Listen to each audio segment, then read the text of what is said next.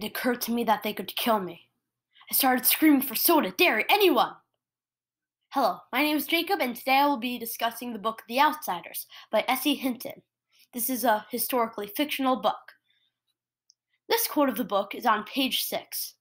This is thought by the narrator slash protagonist, Pony, when a member of the opposing rich gang, the Socs, is holding a knife to his throat.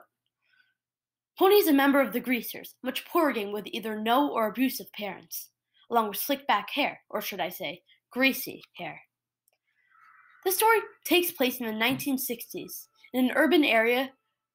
The main character is Pony, a ninth grader who loves to run, read, and tries to fit in with the rest of the older greasers. This means he smokes a lot and occasionally drinks. Keep in mind, this is in the 60s, so this is not as bad as it might seem.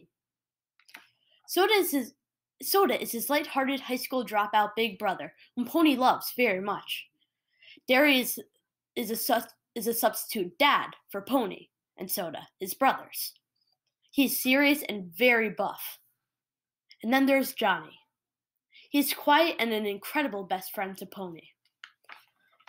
The main plot points occur after Pony is saved by Darry and Soda. A few nights after this, Pony, Johnny, Soda, and Pony go to the movies.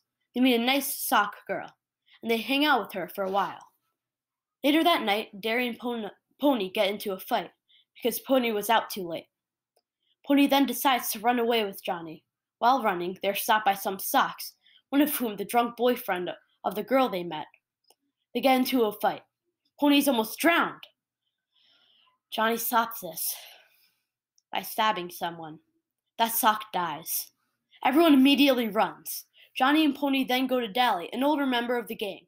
He gives them, them money and train tickets to go hide in a church on a hill in a rural town. I'm sorry, but now I'm going to have to leave you hanging. I don't want to spoil anything. I think the theme of this book is to always stick with your friends. Johnny stuck with Pony when he tried to run away, and vice versa when Johnny stabbed the person. And I assure you, they support each other until the very end. This is a very interesting book. There's a lot of suspense and action through the plot, and also you experience the genuine emotions with the characters every step of the way. With, with this being the case, anybody will enjoy this book for those very reasons. Thank you. This was Jacob Irons. Have a great day.